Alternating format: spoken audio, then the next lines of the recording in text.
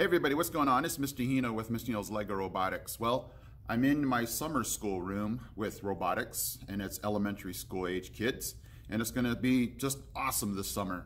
Uh, what I wanna do today on this video is show you, those of you that might be starting off with LEGO EV3 Mindstorms, I wanna show you a really cool, quick brick program that will amaze your students that will use the color sensor. Let's check this out.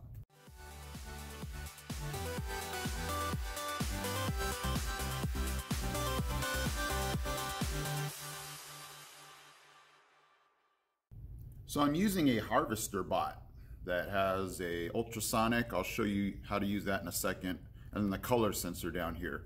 Quick, easy build. I'll put the link in the description on how to get this harvester robot built. Actually, I'll also leave a link at the end of this video on how to uh, make this robot. But let me go ahead and show you the program and then show you how it works. Okay, I have my brick turned on here and I'm just gonna go to the third tab that has brick program. So right there really super easy. Um, I just had second and third grade students yesterday program this. Obviously they were following my directions, but you know, it was easy enough for them to follow.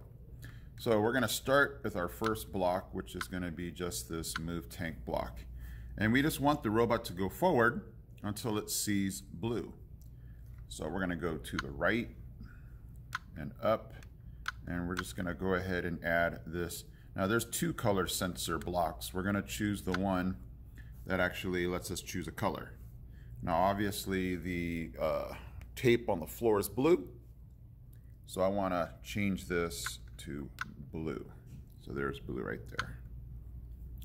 So the robot's gonna go forward, excuse me, and when it sees blue, we're gonna go ahead and add another block here.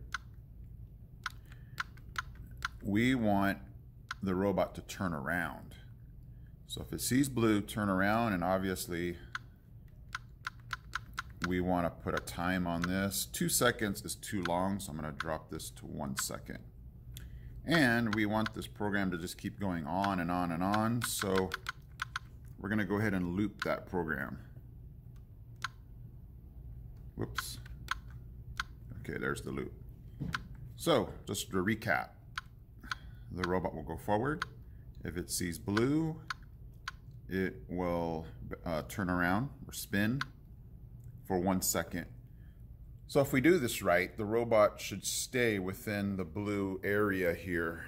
Um, I even made some smaller ones if the students didn't want to watch their robot go forever inside here, um, just to have it go inside. So let's go ahead to the video of the students actually doing this.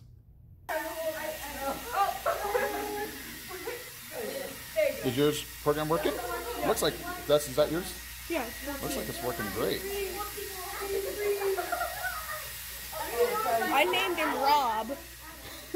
What? Why is your robot named Rob? Short for robot? No, that Nintendo accessory Rob. It's stuck in a circle. Get away. Ooh, it's a better, yeah. No. there you go. That looks good. It breaks it and it goes out of the circle. Yeah, I want, I want, I want. But wait, it goes all the way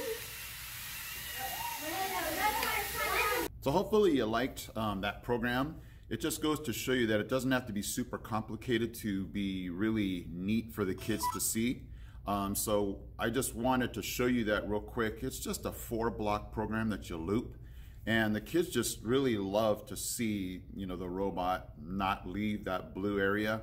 So I, I usually tell the kids, hey, you know, can picture that as your living room and it's a robot that can vacuum the floor and we can program it to just stay in that area. So it's really neat. Um, hopefully those of you that are just starting off can, can take this and run with it and go, yeah, that's a nice beginning program to just kind of get started if you're just learning EV3 right now.